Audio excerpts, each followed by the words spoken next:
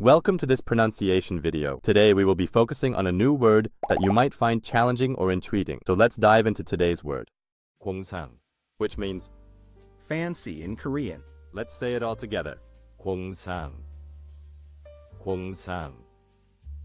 공상. One more time. 공상. 공상. 공상.